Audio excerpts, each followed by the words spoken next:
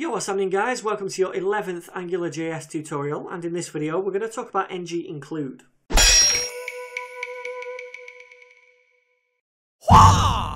Okay then folks, just to recap what we've done so far, we've made this controller called Ninja Controller. We've added data to the scope object in this controller. We've passed that scope object through into this section right here, which is controlled by the Ninja controller. Then we've output the data on that scope object using expressions to the browser.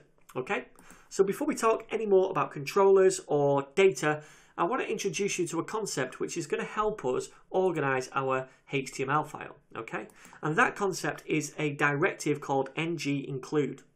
Now, ng include can bring in HTML from another file and then just dump it into your current view whenever you need it and it's really useful for two reasons. The first reason is that it can help us break up a complex HTML page into logical pieces. Okay, so if you imagine your application getting bigger and bigger, your HTML is going to get bigger and bigger, and it's going to be useful to break that HTML up into little pieces and have them as external files which we can include whenever we need them. Okay. Uh, the other useful reason is when we're repeating our code. So say, for example, there's a section on our website which is going to be repeated over and over in different places. Uh, for example, we could have some social media buttons like YouTube, Twitter, Pinterest, whatever, and those could be repeated in the header, the footer, and on some other pages. Now, instead of writing them over and over again in the code, what we can do is create an external file called socialicons.html, and then we can just use the ng include directive whenever we need it in our view to go out and grab that code, bring it back in, and insert it into the view. Okay, so it's really cool. So what I'm going to do is keep it simple for this tutorial. And I'm just going to create a navigation bar, which we're going to then inject into this page using ng include.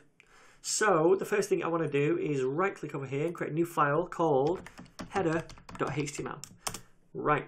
And for this tutorial, I'm going to make use of those styles that I put on my GitHub page. So uh, I've already got them in content and then CSS and styles.css. Uh, if you want to download those, I'll leave the link to that GitHub page so you can go ahead and get this styles.css file and put it into your project file as well. Okay, so it's just going to look a little bit better over there. Now to make this header, I'll need a div, and I'm going to give this an ID of menu hyphen bar. Then within that div, we just need a title first of all. So we'll do a h1, and this is going to be called Ninja Directory. This is going to be the title of our application, I suppose. And then under that, we're just going to do a UL and a couple of li tags. And within these li tags will just be a tags. They don't need to link anywhere at the minute. We're going to talk about linking things up later when we cover routing. But for now, we'll just put the text in so there's something there. Copy that and paste another bad boy down here, which is going to be called list ninjas. And uh, when we click this, it's going to take us to some kind of directory when it's going to uh, show all the list of ninjas we have in our data. So if we save that now, obviously nothing is going to show up in the browser but that's because we've not included this in the index file. So there's two ways we can do this. Um, this directive can be used as an attribute or a tag. And remember when I talked about directives, uh, I said they could be used in those two ways. So I'll show you both ways now. So if we use the tag way, we just need to say ng hyphen include, and then we do a source attribute, and then we put that equal to something here. And we have to get the path of this header .html. So I'm going to copy the project path and paste it in here. Now if we save this and have a look over here, nothing has happened. And this is a common mistake. When we use ng include, as well as other things like filters, we have to pass through things like this in quotations. Now, because I've already used double quotations there for the source attribute, I have to pass it through in single quotations, like that. So that's a common mistake for beginners. So let's do that. Press save and uh, now we see this header in this file. That's pretty cool. So it's going out, it's grabbing this header.html file from here, and it's including it in this page right here so we can see it on the screen. All right, so that is the tag way. And if we just inspect this element, just right click and inspect so we can see the HTML, then I'll just uh, make this a bit bigger for you.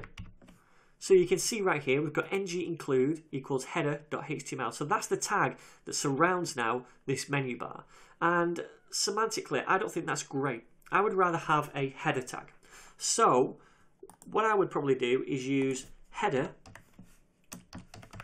then use ng include as an attribute, but this time we get rid of the source attribute instead, and we just say ng include equals this right here. We still keep it in single quotes within the double quotes, we still need that, but then this time we'll just close off the header tag. Now we're using it as an attribute, and it's still going to do the same thing. So when I save it, we still get the same result here, but when I inspect the element, now you're going to see the menu bar is within the header. So to me, that's a little bit more semantic. Okay? So that, my friends, is how we use ng include. If you have any questions whatsoever, feel free to throw a comment down below. Otherwise, guys, I'll see you in the very next tutorial.